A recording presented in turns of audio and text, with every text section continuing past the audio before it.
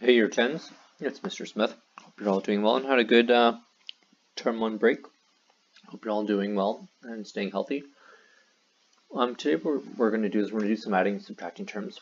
Before we get started, what I want to do is want to make sure to just discuss like terms, which is what we were doing before we stopped for break. Um, with like terms, like terms um, have the same pronumeral and the exact same power. To power.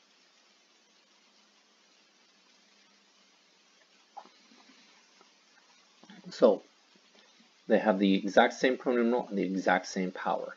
Um, when I say that, um, what I mean, so let's look at these examples. So to start, I've got 3x and negative 7x. So first of all, I look at the pronumeral. And are my pronumerals the same? Yes, they are. Next, I check to see if the exponent is the same, and the exponent here is 1. We don't write our 1s, and so they are the exact same. So yes, these two are both like terms. Let's look at our next one. Are these like terms? So we've got x, we've got x. So, so far the terms are the same. Next, we check to see if our exponents or our powers are the same, which they are. So our pronumerals are the exact same and our powers are the same. So this is also a yes. Next, C. Are these like terms?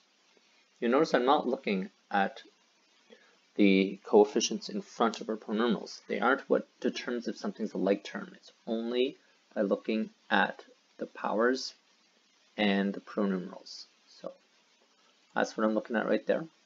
First of all, I see that it's an x and a y x and y. So both of our pronumerals, uh, both of our um, our variables are x and y. I now check our powers, and the squared is the same because the square is applied to the x. It's right next to the x. So this is a yes. Next are these like terms. So we've got an x,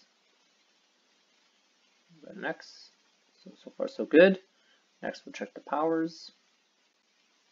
Are powers the exact same? No, they're not. So these are not like terms. No, they're not. Check our last example.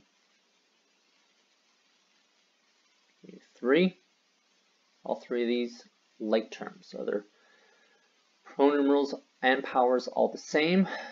x squared y, x squared y, and x squared y, yes, they are the same. So this would be yes that all three of these would be um, considered to be um, like terms. And I'll give you an example of a non-example. So with this same one, um, if I gave you um, negative 2x y squared, this would not be because the in this situation, the power is with the y and not with our x. So the power is applied to a different pronumeral. So this would be not to be a bad example of a, a non-example. So that would be no.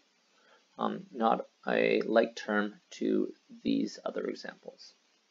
Hope that helps review what like terms are and aren't. Uh, the next video we're going to get into is adding and subtracting our terms.